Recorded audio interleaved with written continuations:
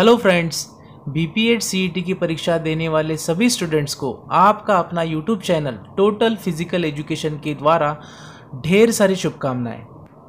Best of luck to all those students who are appearing in the B P Ed C T exam 2021 and 22 दोस्तों, उम्मीद करता हूँ आपकी B P Ed C T exam से संबंधित preparation हो गई होगी। सबसे पहले तो आपको सी एग्ज़ाम के लिए मेंटली और फिज़िकली दोनों तरीके से आपको प्रिपेयर रहना है।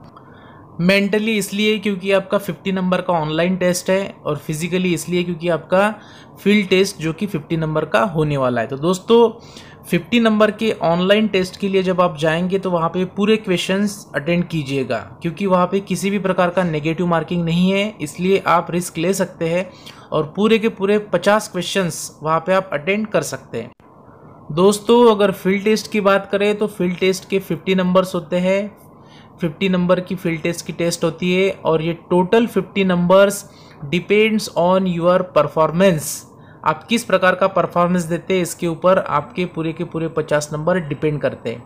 अगर आपकी ऑनलाइन टेस्ट अच्छी नहीं जाती, आपकी ऑनलाइन एग्ज़ाम अगर अच्छी नहीं होती है तो डरने की ज़रूरत नहीं है, क्योंकि आपको और एक चांस है पचास नंबर की फ़ील्ड टेस्ट के अंतर्गत। सबसे ज़्यादा नंबर्स ओरिएंटेड ये टेस्ट होती है। इसके अंतर्गत ये जो पूरे के पूरे पचास नंबर है, ये पूरे पचास नंबर आपके हाथ में है दोस्तों। तो इसलिए आपको उस दिन, जिस दिन आपका फ़ील्ड टेस्ट रहेगा, आपको पूरा ज़ोर लगा के, पूरा दमखम लगा के आपको टेस्ट देनी है और ज़्यादा से ज़्यादा नंबर कवर करने हैं।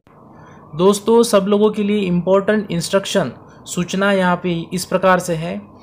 जब आपका फ़ील्ड टेस्ट और ऑनलाइन टेस्ट का एग्ज़ाम हो जाएगा, पूरा एग्ज़ाम होने के बाद जो दोनों एग्ज़ाम का हॉल टिकट है with invigilator sign candidate sign और इन्विजिलेटर साइन ये दोनों साइन किया गया जो हॉल टिकट है दोनों एग्ज़ाम का। ये दोनों हॉल टिकट आपको संभाल के रखना है। इसका कारण यह है कि जब आपका CET एग्ज़ाम हो जाता है CET एग्ज़ाम होने के बाद फिर आपका मेरिट लिस्ट लगता है, आपका रिज़ल्ट डिक्लेयर होता है। रिज़ल्ट डिक्लेयर होने के बाद फिर आपको ओरिजिनल डॉक्यूमेंट्स अपलोड करने के लिए सी सेल टैब अवेलेबल करते हैं। उस समय जब आप ओरिजिनल डॉक्यूमेंट्स अपलोड करते हैं तो उस समय आपको ओरिजिनल डॉक्यूमेंट्स के साथ साथ आपको ये दोनों hall ticket with invigilator sign और कैंडिडेट साइन का ये दोनों हॉल टिकट दोनों एग्ज़ाम की हॉल टिकट आपको ओरिजिनल डॉक्यूमेंट्स के साथ अपलोड करने होते हैं सीईटी साइट पर। ठीक है? जो सी सेल के द्वारा सी सेल में जो आपने अप्लीकेशन फॉर्म आपका फिल किया है तो वहाँ पे और एक टैब ओपन होता है, जैसे जैसे एग्ज़ाम आपकी आगे बढ़ती है तो वहाँ पे टैब ओपन होते जाते हैं, ठीक है? तो उस समय आपको वहाँ पे ये दोनों हॉल टिकट क्या करने पड़ते हैं? अपलोड करने पड़ते हैं अच्छी कंडीशन में, ठीक है? तो इसलिए बहुत सारे स्टूडेंट हर साल यही गलतियाँ करते हैं। एग्ज़ाम होने के बाद वो कहीं पे भी वो हॉल टिकट डाल देते केयरलेसली कहीं पे भी रख देते। तो समय पे वो हॉल टिकट नहीं मिलते और बहुत बड़ी प्रॉब्लम क्रिएट हो जाती है। इसलिए दोनों हॉल टिकट आपको संभाल के रखना है। दूसरी सूचना यहाँ पे ये है दोस्तों कि जब आपकी ये दोनों एग्ज़ाम हो जाएगी ऑनलाइन टेस्ट और फ़ील्ड टेस्ट ये दोनों एग्ज़ाम होने के बाद आगे की प्रोसीजर क्या रहने वाली है? आगे आपको क्या करना है? इससे संबंधित पूरी जानकारी टाइम टू टाइम पूरा अपडेट आपके अपने टोटल फ़िज़िकल एजुकेशन इस यूट्यूब चैनल पे पूरी जानकारी आपको दी जाएगी। टाइम टू टाइम अपडेट आपके सामने यहाँ पे प्रस्तुत किया जाएगा।